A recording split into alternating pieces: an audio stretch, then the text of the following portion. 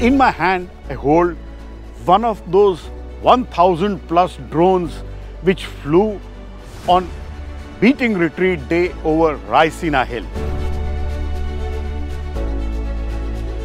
From making the Indian flag in the sky to making the figure of Mahatma Gandhi to making India's map, all done in the dusk with lights over north and south block.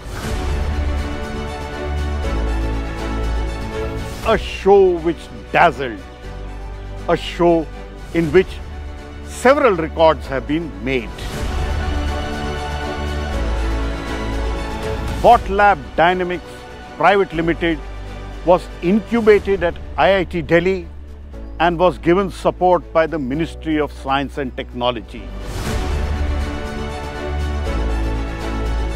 You also met the Minister for Science, Dr. Jiten Singh.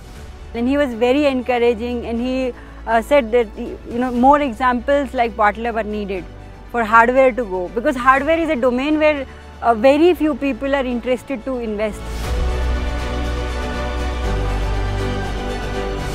So I'm glad that Sir has understood and uh, has been always supportive. So we really are thankful to him. His ministry has been so kind to hardware startups.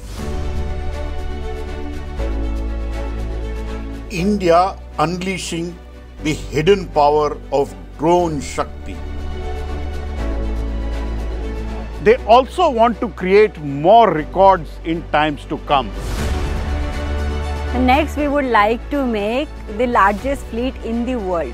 Currently, two countries are leading in this area. China has 5,500 drones. They have flown them last year, late last year, and together, so they made a world record. Before that, in October, Russia made the world record with 2,500 drones.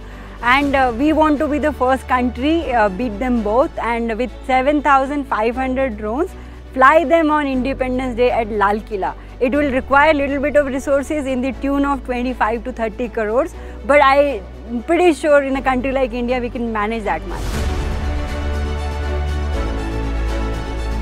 This risk-taking capability of startups and the can-do attitude of young engineers and innovators is what will define the making of a new India.